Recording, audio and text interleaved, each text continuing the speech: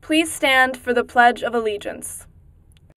I pledge allegiance to the flag of the United States of America and to the republic for which it stands, one nation, under God, indivisible, with liberty and justice for all.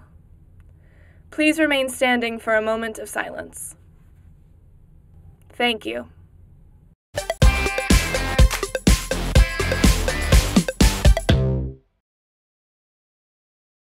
Good morning, Wildcats. I'm Megan. And I'm Ethan. We're here with your morning news.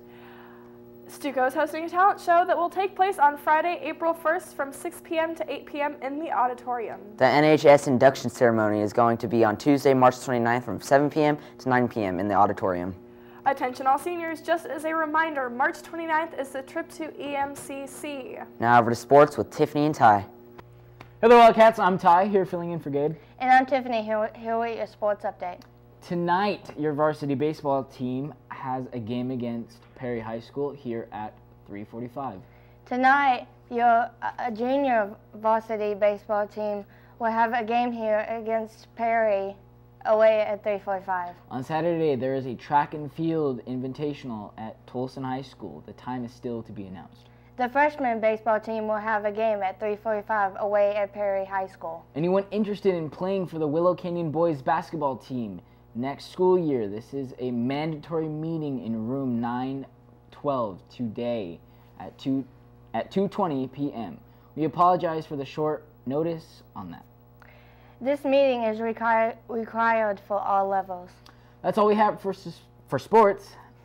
And now here now we're going over to a public service announcement and to the weather with Alan. Have you ever had an awkward hallway encounter like this one? Or how about when you're trying to enjoy your water and this happens? I know we've all had this one before. Someone's walking up the steps, someone's walking down, then boom. Awkward. So remember, next time you're walking down the hallway, stay bright and keep to the right.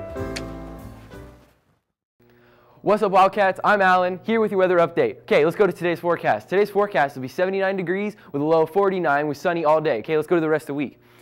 The rest of the week will be highs in the low 80s and lows in the high to mid 50s, and it'll be sunny all week. And I'm Alan, here with your weather update. Now let's go back to your main anchors. Thank you, Alan, for that weather update. Prom guest passes are still available for pickup in the front office. If you're bringing guests to prom from another school, make sure both of you fill out the form.